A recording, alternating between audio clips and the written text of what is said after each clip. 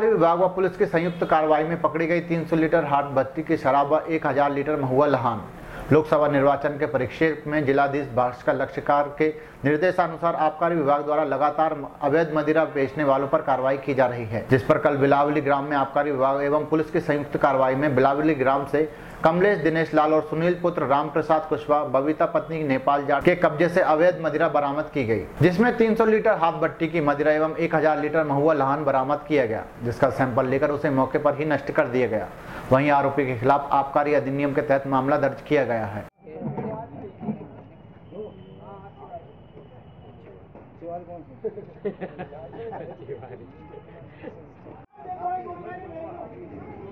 देखो।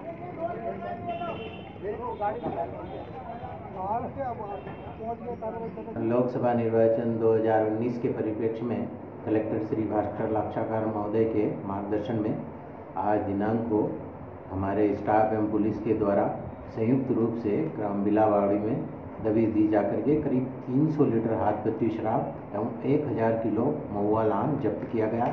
शराब जब्त की गई एवं लाहन के सैंपल लेकर शेष लाहन नष्ट किया गया।